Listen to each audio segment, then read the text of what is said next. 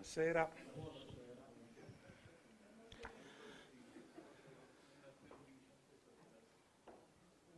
Uso il leggio solo per qualche secondo. Prometto di non mettermi a leggere. Allora, buon pomeriggio, benvenuti all'auditorium eh, della RAI. Eh, oggi devo dire è un doppio piacere, intanto perché si parla di poesia che devo dire abbastanza insolito, nel senso che eh, anche se noi abbiamo avuto più di un appuntamento con, con la poesia, ma è, è, un mondo che rimane ancora molto difficile da approcciare, eh, purtroppo.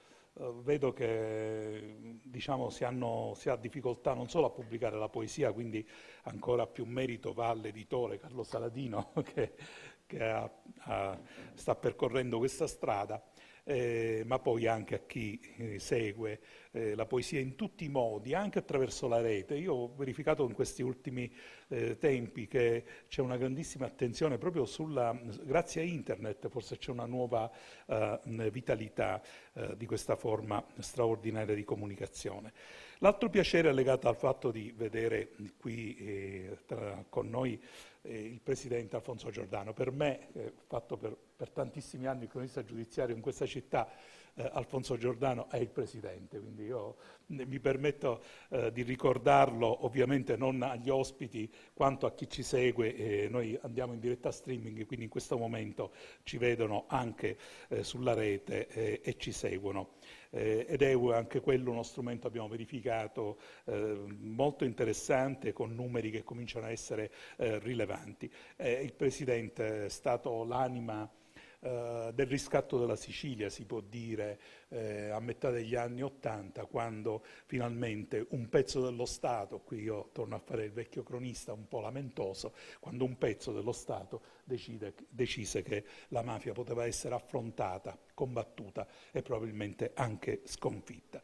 E, e il Presidente eh, Giordano è stato Uh, come dire, il perno centrale di questo processo uh, insieme a tanti magistrati che hanno lavorato al, all'ufficio istruzione e alla Procura della Repubblica e a tanti investigatori. E che avesse, come dire, un'anima letteraria lo sapevamo perché eh, era capi- è capitato in più occasioni anche allora, diciamo, che si potesse discutere eh, di argomenti che non fossero strettamente eh, quelli eh, del, del, processo, soprattutto dopo, quando la sentenza è stata emessa e finalmente eh, anche il Presidente, dopo questo lunghissimo periodo, è tornato a una vita quasi eh, normale. Eh, che poi avesse proprio a cuore anche la poesia è una, una scoperta per me recente, eh, coniugata in, in, parallelo con, anzi non in parallelo, in, simbiosi stretta con la musica. Quindi eh, io lascio subito la parola a chi meglio di me eh, potrà a, affrontare eh, questa silloge insieme eh, con la possibilità diciamo, di sentire pareri autorevoli come quelli eh, del dottor Romagnoli, Gianmarco Romagnoli che conosco anche da, da tempo e apprezzo, che è uno straordinario animatore della vita culturale eh, di questa regione, e al maestro Carmelo Caruso, che eh, anche lui notissimo per avere per tanti anni eh, diretto il conservatorio e poi soprattutto perché continua a fare la cosa che immagino gli piaccia di più, che è dirige, insegnare e dirigere le orchestre e avere questo contatto continuo con la musica che serve, ci serve a vivere e a vivere meglio. Quindi io vi lascio al, all'ascolto, eh, tra l'altro posso preannunciare sol, soltanto che sentirete anche dei brani musicali che ci sono stati suggeriti, proposti dal Presidente Giordano, oltre che la lettura di alcune, di alcune di queste rime che sarà fatta direttamente dall'autore. Quindi buon ascolto.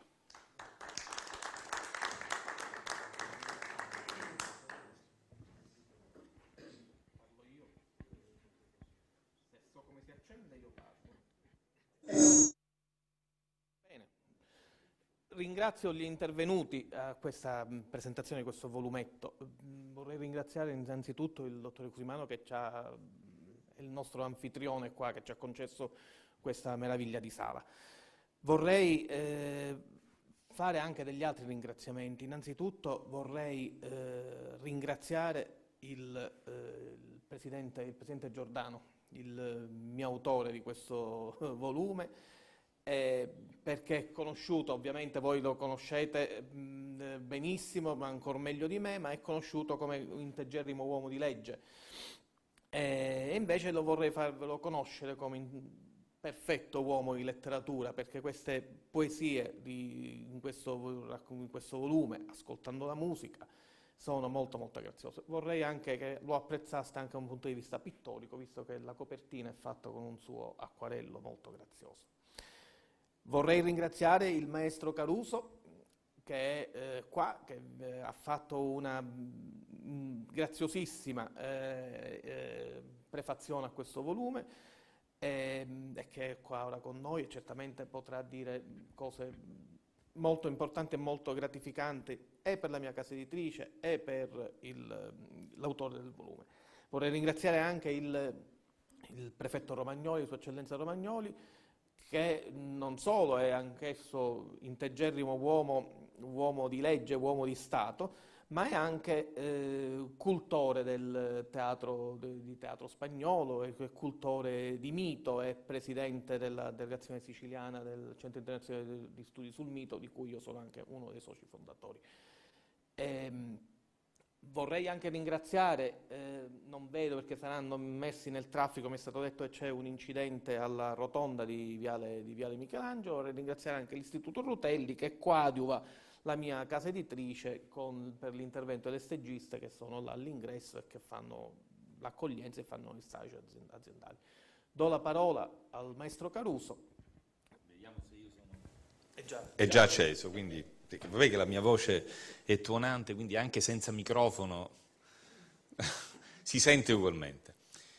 E come ehm, ho avuto già modo di sottolineare in più circostanze, eh, diciamo che non sono io che ho fatto una cortesia o ho accettato l'invito, accettando l'invito del Presidente Giordano nel scrivere, nello scrivere queste, mh, questa breve introduzione, prefazione a questo volumetto relativamente alla parte che riguarda la, la, diciamo, le partiture musicali che lui ha adottato per ispirarsi, ehm, che ha ispirato le sue liriche. Ma perché eh, sono convinto che, e non è un caso che il dottor Cusimano ha sottolineato la parte trinomio, arte, cultura e legalità, è inscindibile. Non è strano che il Presidente abbia scelto queste due nobilissime forme d'arte per esprimere il suo pensiero, perché questo lo ha fatto sempre, anche quando ha eh, svolto la sua attività eh, di magistrato perché la cultura sovrintende a tutte le nostre azioni e l'arte in modo particolare.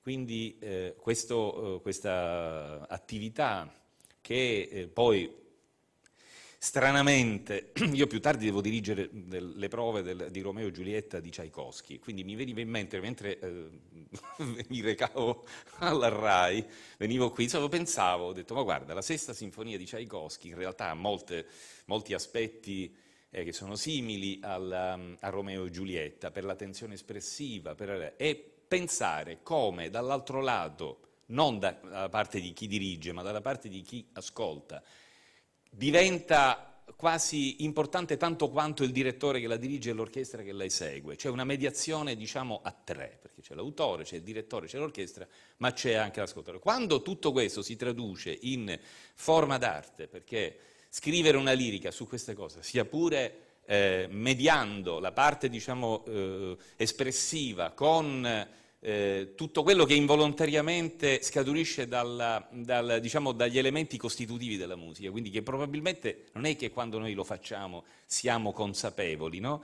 ma questa è la magia dell'arte, la magia anche della, della poesia che eh, poi si traducono in qualche cosa che non può essere spiegata. Quindi diciamo è difficile spiegarlo e si può vivere soltanto ascoltandolo. Ecco che lui ha realizzato questo momento veramente di sublimazione, come spiego anche nella prefazione, che è particolare ed è il motivo per cui i concerti vanno seguiti e non vanno eh, come dire, ascoltati via, soltanto via, eh, attraverso i dischi, ma vanno, so che lui è un grande, eh, è attento ehm, osservatore di tutti questi fenomeni, come d'altronde anche eh, il prefetto Romagnoli, mi risulta. Per, e non è un caso che poi, no? cioè, per affinità elettive, tutte, noi siamo qua a parlare e lei ha colto questa straordinaria eh, combinazione, combinazione ritmica di cui parlo, il colore, il ritmo, la melodia, Tutte queste cose, chi non conosce approfonditamente la parte strettamente diciamo, tecnica, non le può cogliere, ma le coglie passando dalla, dalla, dalla, dal, diciamo, sublimandole attraverso il pensiero, la, la, sensazione psicologica, che poi si traduce in arte. Questo molto, molte volte i musicisti stessi non lo sanno tradurre, mentre non è un caso, perché il vissuto è quello che è, del Presidente, questo si traduce benissimo in quelle liriche. E io penso che la migliore testimonianza che può dare un uomo, un artista, un uomo in questo caso di legge, può essere questo. No? È un contributo alla, diciamo, al progresso, in un momento in cui non siamo stati in grado neanche di alzarci un minuto e dire è morto uno dei più grandi direttori d'orchestra. E che ha portato il nome dell'Italia. Questa è l'Italia, è un paese dove, purtroppo lo devo dire, queste cose non funzionano. Noi abbiamo il 40%, voglio dire, e lui ce lo sta ricordando, anche questo fa parte delle attività, che dovrebbe essere un'attività ordinaria, non ce lo devono ricordare con momenti, perché in fondo lui ci punisce. Nel momento in cui scrive le liriche, dice, io vi sto ammonendo, avete in mano un tesoro, non lo sapete. Io lo ascolto, lo eh, eh elaboro e lo armonizzo anche con la realtà. Questo è il grande messaggio che ci lascia. Eh, questa è l'Italia. Ce la dobbiamo tenere così com'è. Grazie. Grazie di essere venuto qua, veramente, veramente la ringrazio tantissimo. Eh, vorrei dire, la mia perplessità è che secondo me se non fosse stato eletto senatore a vita, molte persone l'avrebbero forse più calorosamente e affettuosamente salutato il, eh, il, maestro. Ma comunque, caliamo un velo pietoso. Eh, vorrei leggermi, se, se è possibile, per farvi capire il presidente il Presidente Giordano, vorrei che è illuminante la dedica del Presidente Giordano che ha fatto a questo libro, proprio perché mette parte della sua vita in, in discussione con questa, con questa dedica, la dedica del libro. A mia moglie Anna Maria, che della mia vita negli anni cruciali ha condiviso ansie, patemi, successi e pericoli. Credo che sia illuminante proprio come uomo di legge, uomo che ha saputo eh, eh, uomo coraggioso perché in tempi eh, bui, in tempi bui della, della politica e della storia italiana, non solo siciliana, lui ha avuto il coraggio di presentarsi. Do la parola al, al prefetto Romagnoli che ci illuminerà. Il prefetto Romagnoli ha curato la postfazione del libro con un, un, saggio, un, un saggio, critico. Eh, grazie. Il libro che viene presentato in questa sede questa sera pone un tema molto importante che il Presidente Giordano affronta da per suo. E il tema è quello del rapporto tra due arti apparentemente diversi, la poesia e la musica. La musica è un'arte, sì, che si concreta in note scritte sul pentagramma, ma è un'arte molto immateriale, nel senso che la pagina musicale viene ogni volta ricreata dall'interprete e viene percepita diversamente dall'ascoltatore a secondo, che posso dire, della sua sensibilità individuale, della sua conoscenza dei fatti musicali. E quindi da una parte questo, dall'altra la parola scritta che rimane com'è, ma anch'essa è capace di suscitare sensazioni diverse a secondo di chi la legge, sensazioni che si possono avvicinare alle intenzioni dell'autore, possono anche divergersene, perché il bello della poesia è proprio questo, come anche della musica, il lasciare spazio al godimento del fruitore, alla interpretazione, al libero approccio del fruitore a quanto gli viene proposto. Si tratta quindi nell'opera di Giordano di risolvere sotto un certo profilo un tema interessante, come dicevo, il rapporto tra queste due diverse forme d'arte. Creare, in altre parole, una consonanza tra le note e la parola scritta, tra musica e poesia. È un processo che può andare in due direzioni diverse. Da una parte possiamo vedere il musicista che musica delle parole scritte, poetiche già esistenti, e quindi è lui che cerca la consonanza con queste parole, e dall'altra parte vediamo l'aspetto opposto, cioè di fronte alla musica già data, il poeta che la interpreta e la rende attraverso la sua arte. Ora, eh, possiamo dire, quanto al primo aspetto, che una consonanza piena tra poesia e musica si verifica in quegli autori lirici specialmente, dove il connubio parola scritta e musica è naturale, connaturato allo stesso tipo di arte, si realizza pienamente in autori come Wagner, che è autore sia della musica che della poesia delle sue opere. Qualcosa del genere lo possiamo trovare anche nel Mefistofele del Boito, dove lui stesso era scritto il testo del libretto e lo ha musicato. Era un poeta anche lui. Si può discutere naturalmente se la bravura del musicista sovrastato quella del poeta, cosa probabile in entrambi i casi, però è evidente che eh, l'ispirazione è unitaria e quindi questa consonanza si realizza in pieno.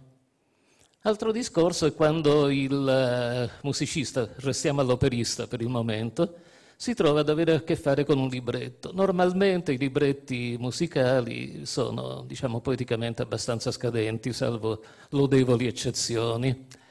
E in questo caso il musicista, d'altra parte, può intervenire. Faccio l'esempio di Verdi, il quale tormentava i suoi librettisti chiedendo continuamente cambiamenti, integrazioni, tagli, eccetera. E, mh, sì, sicuramente cercava il modo migliore di integrare vero, la sua ispirazione musicale con la parola scritta, parola scritta, ripeto, non molto brillante in molti casi, e tuttavia lo faceva più che per un'esigenza, cioè non soltanto per un'esigenza sua musicale, quanto per un'esigenza scenica, perché non dimentichiamo che l'opera lirica è anche arte scenica. Ma andando fuori dal campo dell'opera lirica, vediamo anche nella musica sinfonica, e qui diciamo le scelte sono più oculate. C'è nella musica sinfonica anche il ricorso a musicare in certe parti la parola. L'esempio principe, naturalmente, la nuova sinfonia di Beethoven con, la, con l'inno alla gioia, che è una poesia, vero, naturalmente di altissimo livello, ma possiamo citare anche altri casi come Mahler nella seconda sinfonia, quella che è detta la resurrezione, dove una parte si basa su parole di, antiche, di antichi canti tedeschi, pure quelli di notevole valore. E poi, scendendo in un ambito un po' più cameristico, c'è la lideristica che e la forma d'arte nella quale questa, real- questa sintonia tra parola e musica si realizza appieno, perché nella scelta stessa dell'autore, citiamo due grandi musicisti a casa, Schubert e Schumann, eh, vedete che i testi poetici che si vanno a scegliere per musicarli sono sempre o di autori molto noti o comunque, vero, di, comunque di grande valore estetico e poetico. E questo è un lato dell'approccio. Ora veniamo a quello più difficile, che è quello che ha affrontato con il coraggio che lo contraddistingue in tutte le cose della sua vita il presidente Giordano. Perché? Eh, in questo caso eh, il punto è diverso. Il dato è il brano musicale così come è stato scritto. Il mezzo è l'ascolto di questo brano musicale. Nel caso del Presidente Giordano è un ascolto più che consapevole perché è un grande intenditore di musica. E il cercare questa consonanza rispetto a questo mm, brano attraverso le proprie parole che gli va a creare in quel momento devo dire, un'operazione pienamente riuscita. Precedenti non ce ne sono molti, posso ricordare, non è la stessa cosa naturalmente, un, eh, una cosa, Gabriele D'Annunzio, in una pagina poco nota tutto sommato, fece un eh, commento della morte di Isotta di Wagner. Si tratta, a parte la penetrazione musicologica di cui ha dato prova, ma attraverso la sua prosa, una prosa poetica, sappiamo che la poesia non è limitata alla forma del verso, che veramente diciamo, si pone all'altezza e crea questa consonanza che andavo dicendo. Il Presidente Giordano con questi precedenti diciamo, si cimenta nell'operazione e con una riuscita che devo dire assolutamente esemplare. Io ho letto queste sue liriche basate su brani abbastanza noti, di autori anch'essi abbastanza noti, e che quindi possono fuoriuscire dal, dallo stretto cerchio specialistico. E leggendo queste liriche, devo dire che ho ritrovato la penetrazione piena nel brano, la creazione di quella consonanza di cui parlavo dall'inizio. E la cosa non è facile perché il brano musicale, sì, qualche volta porta un titolo, rarissimamente gliel'ha dato l'autore, più spesso è stato l'editore, non sempre interpretando bene qual era l'intenzione dell'autore. Molto spesso invece ci troviamo di fronte a, che posso dire, a caso, sinfonia in La minore, opera 46, numero. E, e allora quale traccia c'è per, per, interpretare la cosa?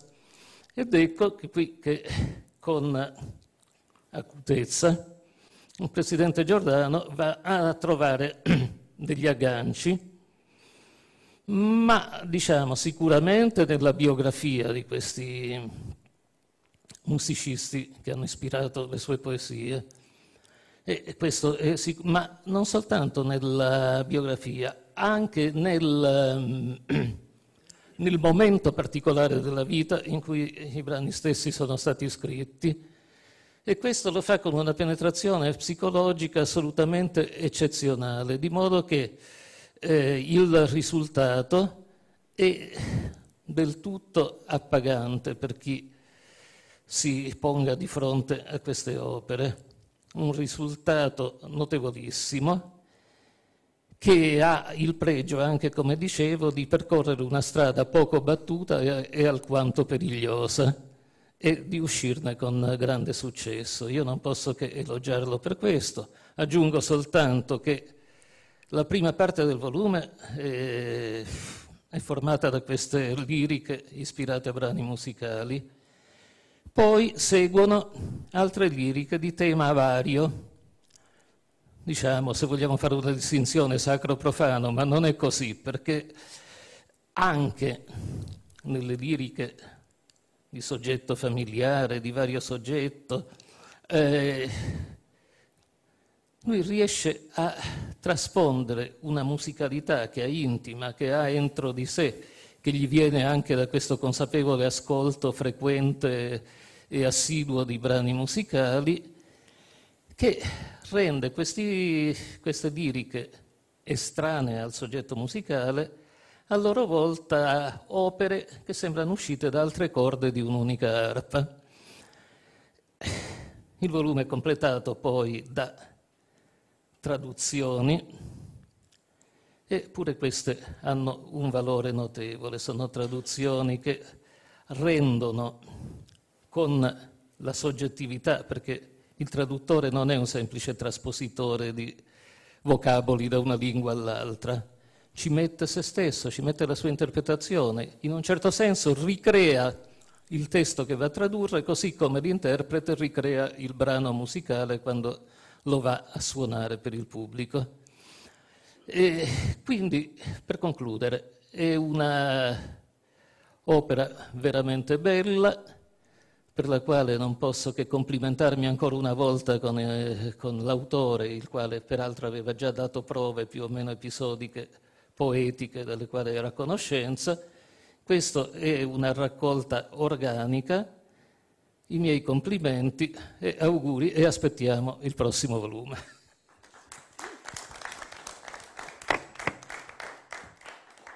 Grazie Eccellenza di, questo suo intervento e grazie anche per la postfazione.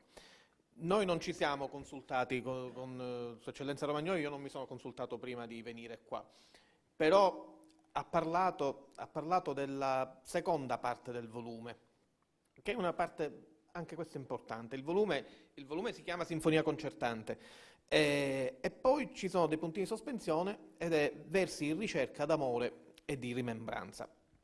Se permettete vorrei leggervi una poesia che, si, che ha scritto ovviamente il Presidente, eh, il Presidente Giordano in un momento di spleen, secondo me. Angoscia. Il vento e lo sconforto mi ha intirizzito l'anima. Sul mio cuore è trascorsa, greve, asfissiante, maligna, l'ondata della malinconia. Ho desiderio di stelle e mastico belletta. Agogno sorsi d'azzurro e bevo acqua di fonte. Sarà forse per sempre questa angoscia? Non potrò mai coglierti. Fiore rugiadoso di sogno che sbocci sui sentieri dell'infinito? Secondo me è, è molto bella.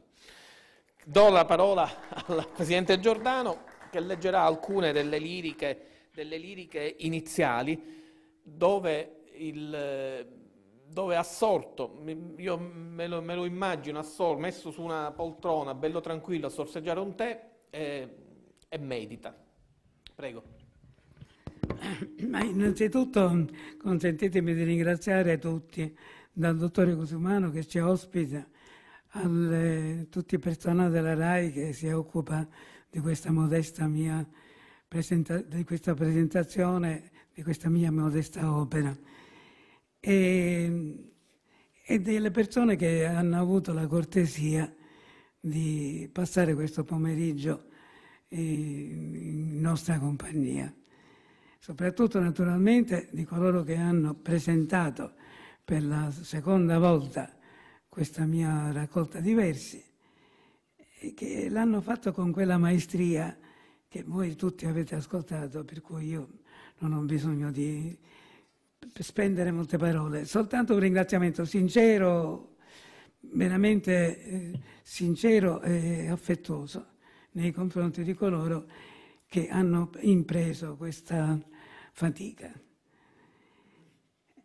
Direi sostanzialmente già è stato detto molto, molto, molto bene da parte di coloro che hanno presentato che la musica è l'arte dell'inesprimibile cioè quando noi ascoltiamo una musica sentiamo dei sentimenti, ma possibilmente non riusciamo a penetrare nel eh, mistero che aleggia in ogni musica, nel senso che coloro che il, il compositore sicuramente quando ha messo, ha messo mano a quel pentagramma che poi ha determinato quella musica più o meno bella a seconda dei casi, aveva un pensiero, pensava qualche cosa. E quando si parla di lirica, si parla di lirica nel senso che sono quelle composizioni che possono essere anche musicali, per le quali naturalmente si riesce a interpretare e, a, e a soprattutto a porgere a colui che ascolta il pensiero, gli affetti, le sensazioni dello stesso compositore. E, e qui naturalmente è il dramma, poter capire quello che il compositore si è ripromesso nel comporre quella musica. Vi sono le cosiddette musiche programma, nelle quali già il compositore si è, si è eh, procurato il, il dovere di poter mettere su carta quali sono stati i suoi pensieri, come per esempio in alcune opere di Tchaikovsky il destino che incombe su di lui. Sappiamo tutti che Tchaikovsky, eh, del quale io leggerò una lirica, eh, a cui è, che è dedicata a un'opera di lui, il concerto per violino e orchestra, bellissimo.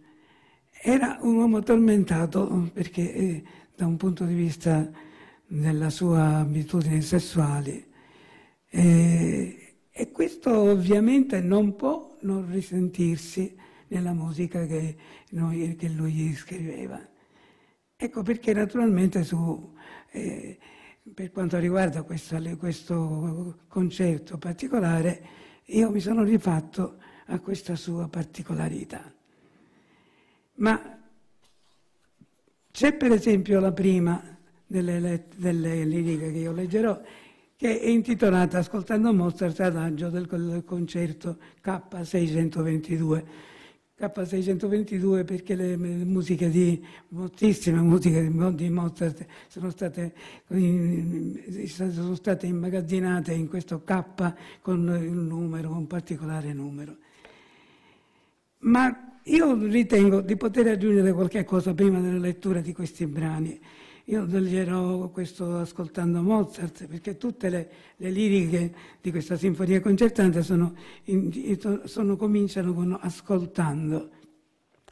E dopo Mozart, ascoltando Chopin, lo studio in Mi maggiore, opera 10, numero 3, e poi Tchaikovsky,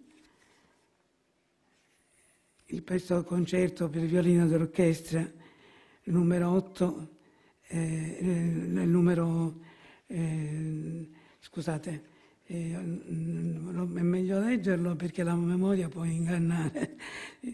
Dunque, il concetto per violino orchestra, opera 35. E infine, Ravel, il Bolero di Ravel.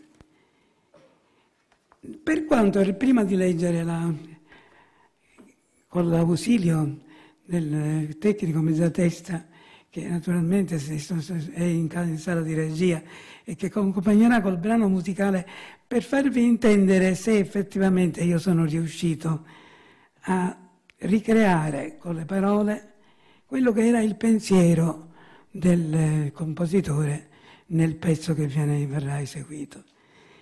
Ma Mozart in questo caso è un caso, un caso particolare, perché questa musica meravigliosa, che è stata anche considerata uno dei dieci punti, dei, delle dieci cose che si autorizzano a vivere, che ci fanno godere la vita, come ha detto un regista, attore eh, americano, eh, questa ha una forte, una forte tendenza di carattere filosofico, che magari potrebbe sfuggire. Il 4 aprile 1787 Mozart scrive al padre, che era lontano da lui, il quale, il quale purtroppo aveva fatto sapere che stava male, stava molto male. E gli scrive in questo modo che io vi leggo, dato che la morte, a ben guardare, è la vera meta della nostra vita. Già da un paio di anni sono in buoni rapporti con questa vera ottima amica dell'uomo, così che la sua immagine non solo non ha per me più niente di terribile, ma anzi molto di tranquillizzante e consolante. Ringrazio Dio per avermi concesso la fortuna e l'occasione, lei mi capisce, di riconoscere nella morte la chiave della nostra vera beatitudine non vado mai a dormire, aveva 31 anni, senza pensare che, per quanto io sia giovane, il giorno dopo potrei non esserci più E di tutte le persone che mi conoscono, nessuno potrà dire che io abbia un modo di fare imbronciato o triste. E ringrazio tutti i giorni il Signore per questa beatitudine che auguro di cuore a tutti gli uomini. In realtà questa strana affermazione da parte di un giovane di 31 anni aveva un sottofondo filosofico, perché proprio in quel tempo eh, un eh, filosofo popolare, Moses Mendelssohn, aveva lo stesso nome del, della, del musicista, ma non era musicista, aveva scritto un'opera nella quale sosteneva appunto questi eh, motivi e poi sono condensati anche nel, eh, in Metastasio quando dice non è vero che sia la morte il peggior di tutti i mali e segue via di seguito. Perché vi ho voluto dire questo?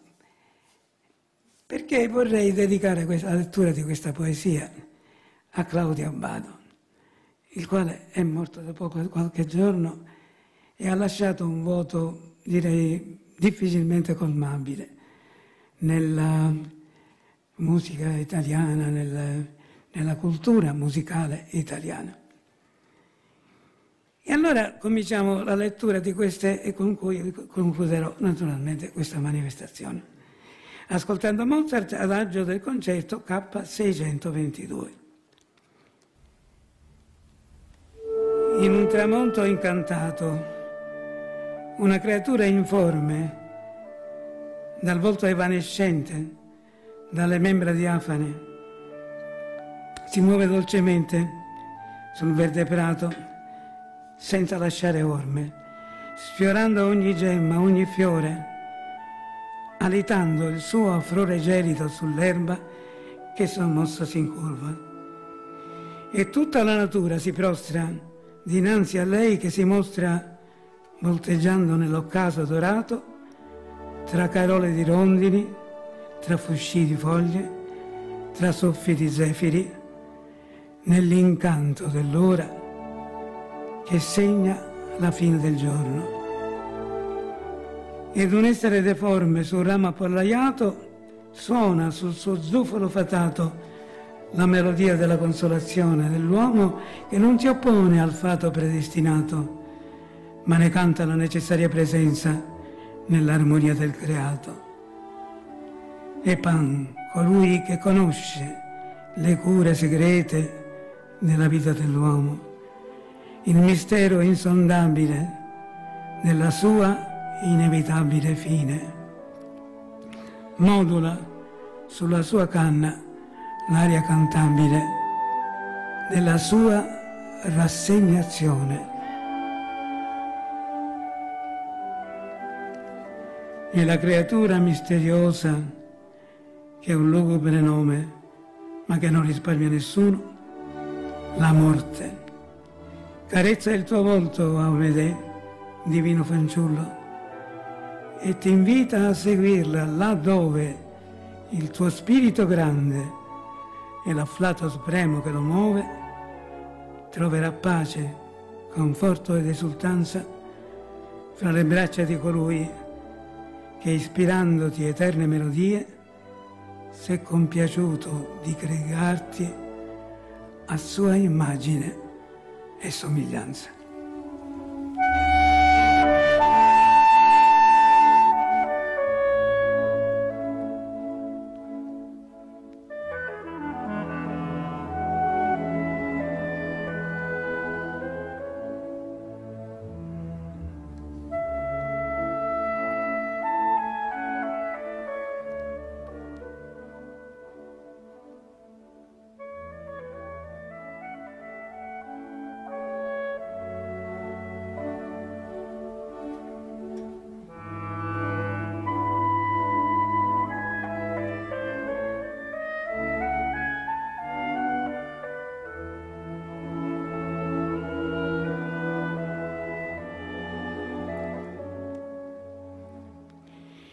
Adesso ascoltando Chopin, studio in Mi maggiore, opera 10, numero 3. Cinque note d'argento volano dalla tastiera sotto le agili dita del loro compositore. Sono un canto d'amore di dolcezza infinita, una struggente voce nella sera che si discioglie in suoni illanguiditi e salgono svettando verso il cielo per rimontare d'un tratto trasformate in magiche cascate, in candide ghirlande da sfodelo, in brandelli d'azzurro, in soave sussurro, in tonalità morbide e pure. Canta la dolce e mirabile armonia l'amore che nobilita gli umani e la pietà e la commiserazione che il destino mortal che acerbo incontra sopra di loro inesorabilmente.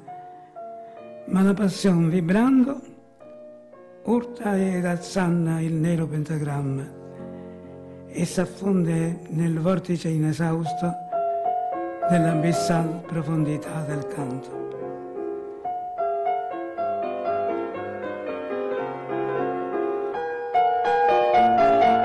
Dolce melodia così si posa ed in sua vece subita, impetuosa, un'ondata mirabile di note si dipana e si scontra tumultuosa con acerrima furia Essa percuote i tasti e insieme il cor di chi l'ascolta con veemenza fremente.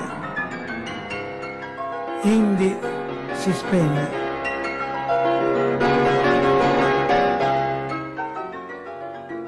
Ed ecco nuovamente ritornare il canto melodioso, ermo e struggente lei nella melodia lunare corre con la dolcezza d'un amor perduto per sempre ed insieme con lei soccorre, provvida e vaga, la rassegnazione. In essa ogni tormento, ogni passione trova pace e quiete. Essa dorme nel cuore quella tristezza, quello strazio muto che esacerbava l'anima infinita volontà d'annientarsi nella speme di migliorarmi mutandola la vita.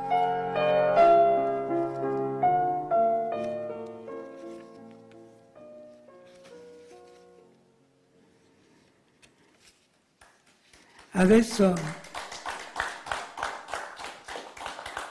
ascoltando Tchaikovsky, Concerto per violino e orchestra, opera 35. Come arde il sole in quel mattino chiaro, il vento che soffiava levemente ha spazzato le nubi ed ecco il cielo ridiventare azzurro e pieno di voli. Cinguettano gli uccelli e in fondo a valle mormora un rivo Gode del creato l'anima tua felice, oggi di esistere, e fidente nel destino che l'attende. È scomparsa quell'ansia che ti rode la vita, quel tormento insano e rio che vela ogni tuo giorno di tristezza, che funesta e scompiglia ogni tua gioia. Oggi è un giorno sereno e dentro il cuore pulsa il tuo sangue e irrompe nelle vene è un momento sereno finalmente e camminare placido per i campi, il torace gonfiar pieno d'ossigeno e sentire la flore della terra raccogliendone un pugno, ecco è tutt'uno. E guardi il sol rapito e senti in cuore l'incanto e la bellezza della vita, il desiderio di pace e d'amore che ti riempie l'anima. Potesse essere questa soltanto la tua vita e poterci accadere di essere pago della normalità come fan tanti, cercando la bellezza nella musica e obbligando i fantasmi nascosti e i desideri insani che sprovellano i tuoi precordi e fan dell'esistenza tua fatalmente il disperato corso che tanto nuoce alla tua vita e tanto nuoce alla tua arte, in caccia ogni ora dell'armonia suprema È questa la lezione della vita, la via sicura che dovrai percorrere per garantirti l'avvenire e insieme la gioia della purezza. Tal meta non è soltanto il mezzo per poter superare le accuse dei maligni e le gelosie degli invidiosi, è il desio struggente di un approdo nella serenità di una normale vita, di una esistenza finalmente scevra da torbidi rapporti, da segreti sussurrati a mezza bocca nell'ardore di passioni scomposte e condannate dalla società del tempo. Viva Dio! E pur denso di fervidi entusiasmi il destino che ti attende e giocoforza il genio tuo sarà riconosciuto senza riserve e senza alcun mugugno come oggi ti avviene invece.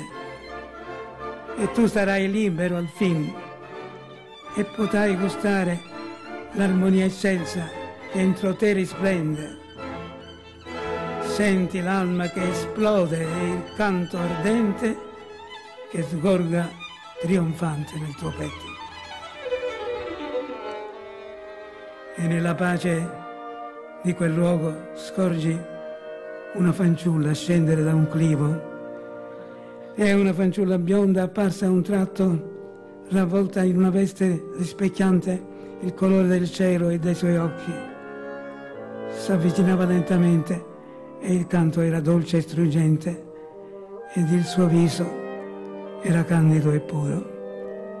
Essa sembrava una visione angelica, l'immagine della purezza. Ad essa, affascinato, ti avvicinavi, estatico e compliquiso. Ma ecco d'improvviso profilarsi la tentazione di un efebo che accanto ti siede e ti soggioga con quel bel volto.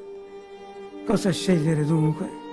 irresoluto, pavido, tormentato ed angosciato, ti richiudi in te solo, nel tuo mistero. E il dramma scoppia in te con il fragore del tuono, sicché in te si rinovella la lotta disperata che combatti in ogni istante della vita, in ogni palpito di essa, sicché invano tenti ad essa di sottrarti, rimettendoti ad un fato che te per sempre, pur sempre avverso. Perché incapace di sottrarsi al fascino degli amori proibiti. La speme, l'angoscia danzano nella tua mente e si traducono in note fascinose, in note eterne, che ascoltiamo rapiti, rispettosi dell'arte e del tormento.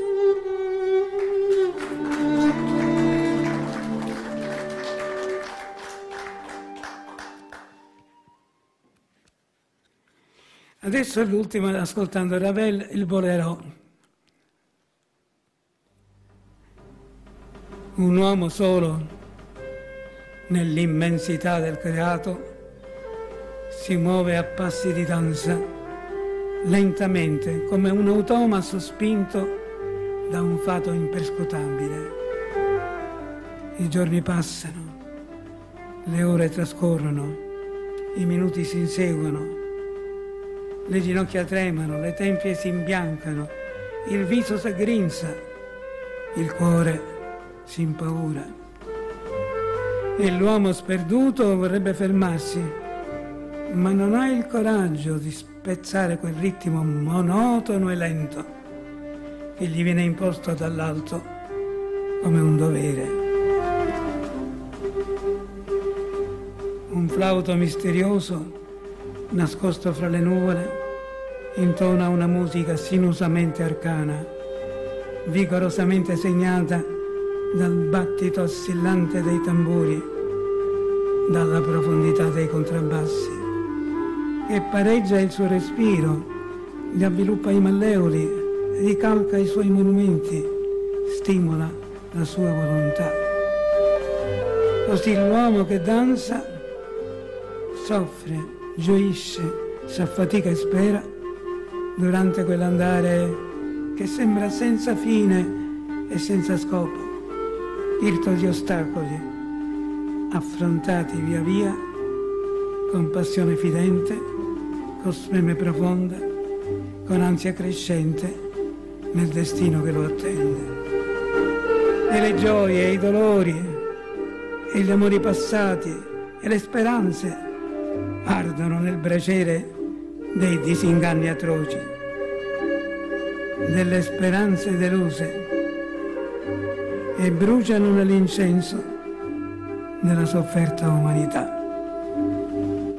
Ma a poco a poco quel ritmo monotono diventa furioso, frenetico, in un crescendo tumultuoso che impegna il suo corpo, trascina il suo spirito, travolge il suo essere, mozza il suo respiro.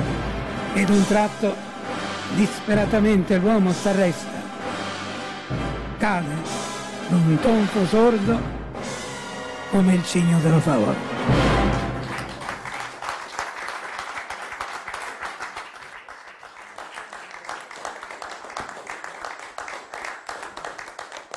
una, una perfetta descrizione questa del bolero di Ravel, veramente bellissima, devo dire. Dobbiamo ringraziare il tecnico che ha, che ha, contribuito a questa presentazione di questo volume. Vorrei ringraziare tutti quanti della vostra presenza e ringraziare di nuovo l'autore e i prefattori e postfattori. Grazie.